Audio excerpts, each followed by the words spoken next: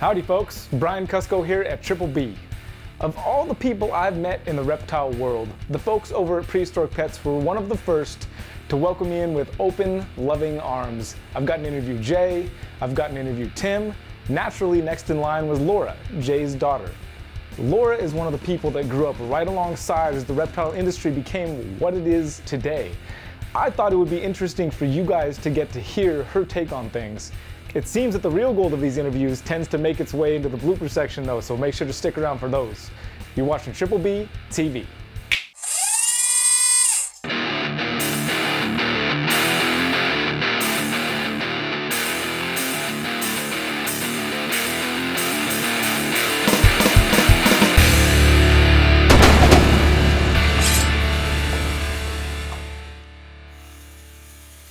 I wanted to talk about uh, you, Okay. if that's all right. yeah. I mean, obviously you were born into Yes. snakes. Yeah. I was just talking with JT as we were driving over. He was talking about the Florida shows, and like as a little kid, that was the only vacation we got. Is we packed all of us in the car with like a hundred reptiles in a trailer and cages, like the same booth he does here 20 years ago, and we would drive straight from California to Florida.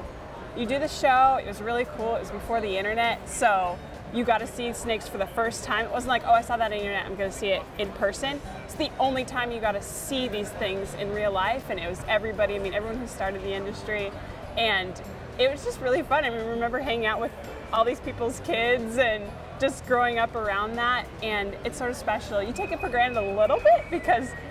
Oh, world's first snake, not a big deal. Like, that was yesterday, right? You're gonna do that again? But it's still, if I step back and look at it, it's something pretty special. From my perspective, you are the glue that holds the shop together. It needs some glue, yes. There's a lot of moving pieces that need some glue, and I always joke that my only job is like make sure the place doesn't burn down and people have a good time. Uh, so if I can keep it from burning down, usually the good time's easy. Those are two of the most important things, I think. Yeah, yeah, and- the place is still standing and people are having a good time, I mean, that's a success. Yeah, because my dad has the big dreams, but he has so many of them that it's hard to implement them all. So I try and make those big things happen in real life, and so sometimes that's a lot of little minutia stuff, so that he can move on to that next big. So what, I know you guys do a bunch of educational shows, of course. So do you you go out and do a bunch of those yourself? Mm-hmm. I don't or- do as many because I'm making sure that people show up to the parties, but every once in a while somebody's sick and I'm on my way out, and it's fun. It's such a good reminder of why we do what we do because you when you get into like oh, they were five minutes late, they were five minutes late. It's so far away, or whatever. You forget like what we're doing is so unique and cool. Like these kids are having a birthday party, but they're learning about different continents. They're learning about different animals. They're lear- learning about different habitats and camouflage and it's like what they should be learning in science class, but they're not paying attention then. But I can't get them off of these animals when we put them in their hands. And so that was all born out of my dad not doing well in school. But when he did hands on things like wood shop or animals, he knows more than a lot of scientists because he's so focused in on it. And so we teach our customers like that, but we also teach our employees like that. I don't have a, a handbook like, here's everything you need to know about reptiles. You're not gonna find that at prehistoric. It's gonna be, we're gonna throw you in there, let you like doggy paddle for a little bit, and then we're gonna show you, oh, okay, this is how we do it. This is a little bit of why we do it, but we're gonna do it hands-on so they learn it. And that's worked really well for us. I think that sets us apart from other places. When I got remember when I got that snake, I got that uh, Phantom Sunfire, and I, I went there. I couldn't. Nobody was around. I, Mm-hmm. I think Jay had a what the show. problem was, The, yeah. the, main- the main problem was some nobody was there that was there the day before. I said I'm gonna get the snake. We put it away, Uh-huh. and then I came back. We nobody, find it in no, the the, people that were there weren't there the day before, and they didn't know where the snake was. And we did find it, of course. We Yeah. did, but but well, actually, after I left, I was like, okay, well, we'll just we'll wait for those guys to get it back. I had to go wherever I had to go. I had to go to my wife's grandma's house Mm-hmm. and go hang out with the family and stuff. And then you, out of the kind of start, drove to Long Beach and to, to my wife's grandmother's house. And we had a pool party. And we had a was the pool party. best. It was the best. You're so sweet. And that was like something that when we first met you, it was just sort of like this instant connection of like, this is a really nice person who really likes what he does and works hard at taking care of people through it. And that's what we hope we can do, which we don't always get to do those personal connections, but when we can, we really try to. And we hope that if people know who we are, they understand that and all the other stuff sort of fades away when you realize like I actually care about you, the person. I want to take care of you, uh, and if I can take care of you through matching up with a great animal, that's what I want to Yeah. do. So that's for me. Like I love the animals. Don't get me wrong. I've grown up with them. They're great, but the personal connections are what I really enjoy and what keeps coming back each day is those kids touching an animal for the first time. When like the Lacey Act happened, I was going through a really tough time. If it was not that, I would have would have not been at work for a month. But it could have been the last time they were ever going to be able to get a, a like a retic. And people, they do their research. That's what I learned through that is they really do the research. They're like, I've been waiting six months to get this. I've been building the cage. I've been making sure I have all the information, and now I have two weeks to be able to get this animal and I may never again because I live in Wisconsin or something. To me, that was such a it was a very difficult time because it was such a crunch and it was very painful that like oh gosh after this we may not have a business, but that I was able to like okay hey John. And you were able to make these connections like, I'm gonna get you that snake that you need, we're gonna make sure it's really good, and that you get, are able to have it in the future. I'll get you a pair so that you can breed them so that that Wisconsin's gonna have its animals. Um, and so that was really cool. I'm not like a super salesperson, but for if I can think about it, and like these people are going to take care of these animals for 10 years or 20 years, and that's the nice part about the retail store is I have customers who've been literally coming to me for 20 years feeding the same ball python they bought from us when I was like eight years old crawling around on the floor, and they come every single week to do that. And you can't help but form a bond. And they're like, "How's Sure. how's Johnny doing the ball python?" They're like, "He's doing great. He's still going around." And that's. Uh, you don't get that in, in other industries, so that's, That's nice. that's awesome. Are you gonna be stay at Prehistoric? I mean, it's a family business. I can only imagine it's gotta The be something else. question. Are you gonna stay there, and are you gonna take over? I mean, I, I, I can't imagine. that. Are you gonna take over? You think? I mean, I don't know. So my degree technically isn't in reptiles. It's not in all that. I have a degree in graphic design. I love that. But like I said, I love the people, and the people I love the most are my family. And so um, the reptile zoo has really been my baby on really transitioning something that it's more sustainable for us and is more what I find super valuable those personal connections. And so we're so close to having the zoo like almost to where we've wanted it for eight years. And so when that's done, I don't know what I'm going to do with myself because it's been every day has been like a this battle on okay, how do we get to the next step, next step, and we can't expand anymore. We fit those capacities. I mean, of course, we're prehistoric. We have Jay, so we have plans for another location and something crazy. For the last about a year and a half, I've really taken a lot more ownership in it. Any job, you're like, oh, this is exhausting. I work too much. I don't get enough thanks. And at some point, I realized like I'm in charge. If I'm exhausted or I don't like what's going on, that's my fault. I don't have anyone else to blame, so I should probably fix that. And so I just really took ownership on on the areas and like, okay, I can make these decisions. I don't need to run them through somebody. I'm just going to take care of it, do what I think is best, and if it's wrong, I'll get in trouble from the big guy later. but most of the time, I mean, I've, it's not like I'm brand new to it. I've seen the, how this works. I've very truly worked every single area of the company. So as a 12 year old, I was clicking the registers. As 10, I was entering the data into the computers and I've done the parties, I've done the sales now, like I've done all the little areas. So I have insight into what it takes to do those things well. And I really try and make sure that the team understands that like I will stand right next to you and do the job as hard or harder than you.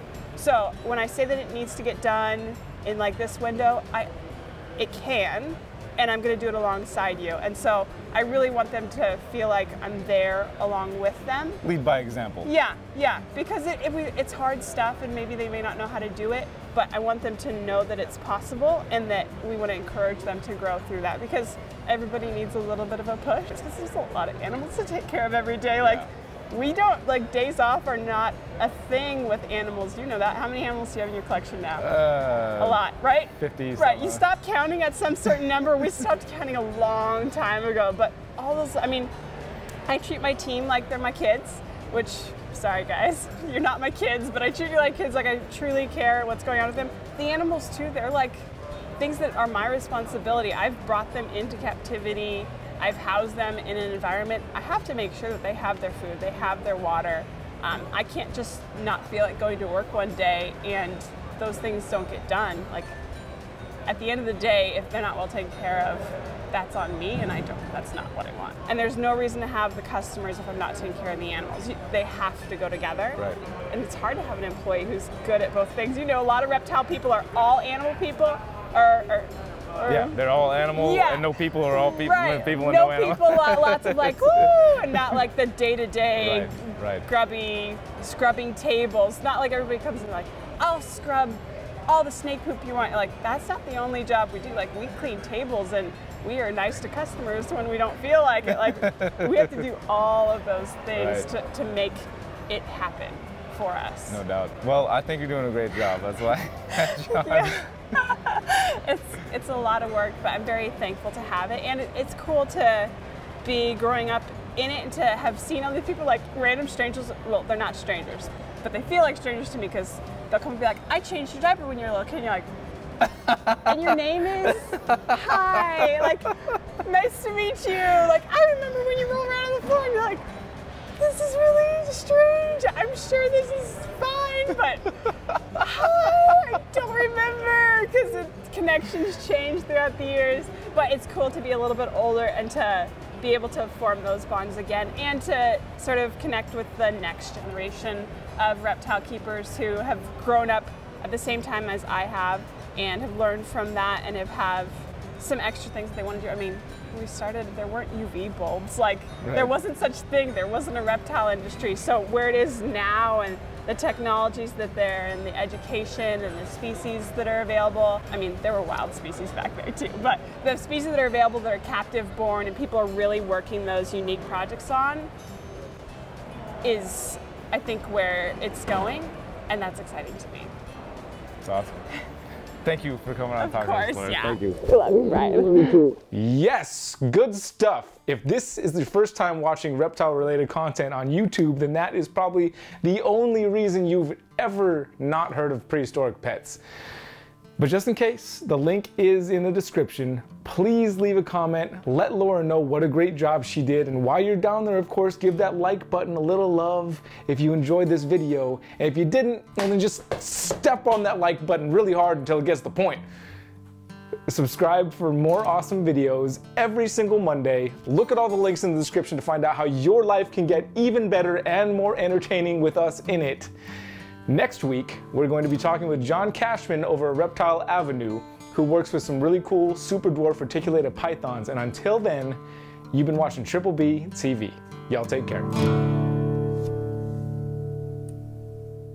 I did on camera. It was just him. Uh-huh. So, and I did that with Tim. And then after that, I was like, people were like, where the hell are you at, dude? It's your channel. I was like, okay, I'll freaking be in there. It's trying to get crazy on me. Oh my god, I should not have stayed at the bar with those guys last night. Uh-oh. We, we closed the bar down. I got recording here in my life. And today I'm wearing socks. You know, there's lights and there's cameras. We, we, we- I try my best to like make us pretend that those aren't there. Yeah. Ooh, yeah! It should be you that's sweating, not me. Oh, you got a little you. fluff in your hair. Thank you. I think it's coconut. It looks hair. like shredded coconut. Perfect. I just really, you know, I've heard coconut's good for your hair. Gee willikers, folks. Gee golly gosh. when I lived in Hawaii, there was a long part, part of time where I, Yeah. just, I wake up and I would go find a coconut. You Go, husk it, find eat, a go find a coconut. coconut. That- yeah. Then jump in the ocean and swim around, and like that's how I started my day. Probably the happiest, healthiest times of my life, I It think. But doesn't sound like a bad day. it's not a bad day. It's not a bad day. You don't have much to show for it in the end, but, but, but, At least you got that coconut. but you got the coconut, and you're healthy and you're happy. and You're running around. The sun is shining. It's like you're in paradise. like, Yeah. you know, so it's not too bad. But Yeah. the point is, coconut is, is really good for you. for you. Tighten it up, tighten it up. My, the worst thing is when I got a guy with a beard, like Oh, a long no, beard, just- and it's like it's just yeah, it's just like The whole oh time. man, That bass. I, I didn't know you were gonna be that good. that good, geez.